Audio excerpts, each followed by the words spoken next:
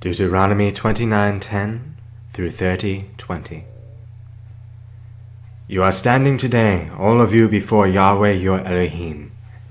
the heads of your tribes, your elders, your officers, all the men of Israel, your little ones, your wives, and the sojourner who is in your camp, from the one who chops your wood to the one who draws your water, so that you may enter into the sworn covenant of Yahweh your Elohim which Yahweh your Elohim is making with you today, that he may establish you today as his people, and that he may be your Elohim, as he promised you, and as he swore to your fathers, to Abraham, to Isaac, and to Jacob. It is not with you alone that I am making this sworn covenant, but with whoever is standing here with us today before Yahweh our Elohim, and with whoever is not here with us today. You know how we lived in the land of Egypt, and how we came through the midst of the nations through which we passed. And you have seen their detestable things, their idols of wood and stone, of silver and gold, which were among them. Beware lest there be among you a man or woman or clan or tribe whose heart is turning away today from Yahweh our Elohim, to go and serve the gods of those nations Beware lest there be among you a root bearing poisonous and bitter fruit, one who, when he hears the words of this sworn covenant, blesses himself in his heart, saying, I shall be safe, though I walk in the stubbornness of my own heart. This will lead to the sweeping away of moist and dry alike. Yahweh will not be willing to forgive him, but rather the anger of Yahweh, and his jealousy will smoke against that man, and the curses written in this book will settle upon him and Yahweh will blot out his name from under heaven. And Yahweh will single him out from all the tribes of Israel for calamity, in accordance with all the curses of the covenant written in this book of the law. And the next generation, your children who rise up after you,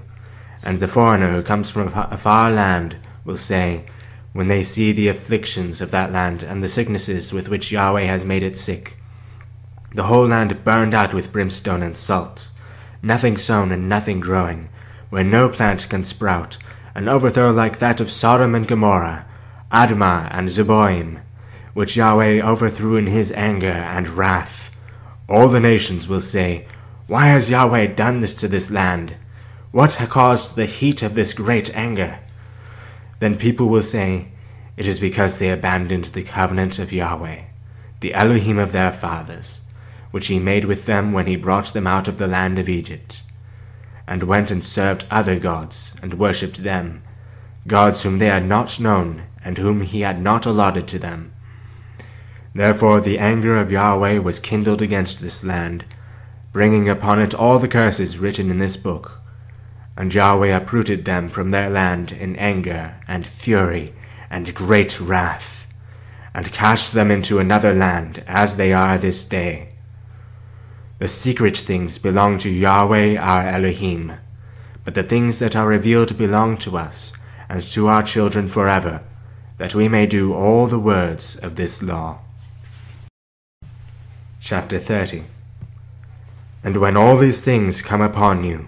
the blessing and the curse, which I have set before you, and you call them to mind among all the nations where Yahweh your Elohim has driven you, and return to Yahweh your Elohim, you and your children, and obey his voice in all that I command you today, with all your heart and with all your soul. Then Yahweh your Elohim will restore your fortunes and have mercy on you. And he will gather you again from all the peoples where Yahweh your Elohim has scattered you.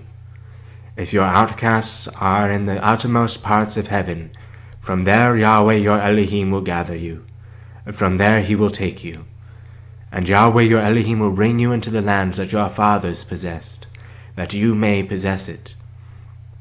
And he will make you more prosperous and numerous than your fathers. And Yahweh your Elohim will circumcise your heart, and the heart of your offspring, so that you will love Yahweh your Elohim with all your heart and with all your soul, that you may live. And Yahweh your Elohim will put all these curses on your foes and enemies who persecute you and you shall again obey the voice of Yahweh and keep all his commandments that I command you today. Yahweh your Elohim will make you abundantly prosperous in all the work of your hand, in the fruit of your womb, and in the fruit of your cattle, and in the fruit of your ground. For Yahweh will again take delight in prospering you, as he took delight in your fathers, when you obey the voice of Yahweh your Elohim, to keep his commandments and his statutes that are written in this book of the law, when you turn to Yahweh your Elohim with all your heart and with all your soul. For this commandment that I command you today is not too hard for you, neither is it far off. It is not in heaven that you should say, Who will ascend to heaven for us and bring it to us, that we may hear and do it? Neither is it beyond the sea that you should say, Who will go over the sea for us and bring it to us, that we may hear it and do it? But the word is very near you.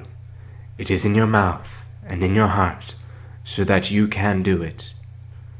See, I have set before you today life and good, death and evil. If you obey the commandments of Yahweh your Elohim that I command you today, by loving Yahweh your Elohim, by walking in his ways, and by keeping his commandments, and his statutes, and his rules, then you shall live and multiply, and Yahweh your Elohim will bless you in the land that you are entering to take possession of it. But if your heart turns away, and you will not hear, but are drawn away to worship other gods, and serve them, I declare to you today that you shall surely perish. You shall not live long in the lands that you are going over the Jordan to enter and possess. I call heaven and earth to witness against you today that I have set before you life and death, blessing and curse. Therefore choose life, that you and your offspring may live, loving Yahweh your Elohim, obeying his voice and holding fast to him, for he is your life and length of days, that you may dwell in the land that Yahweh swore to your fathers, to Abraham, to Isaac, and to Jacob, to give them.